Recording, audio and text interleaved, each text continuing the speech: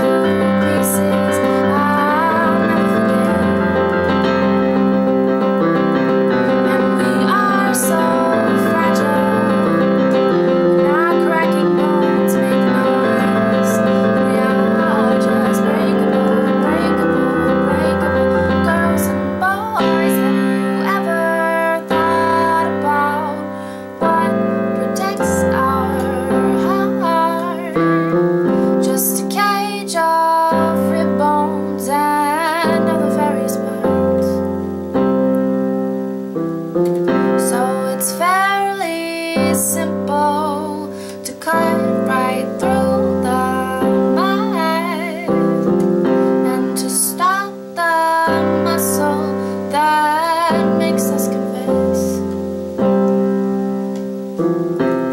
And we are so fragile, and our cracking bones make noise, and we are just.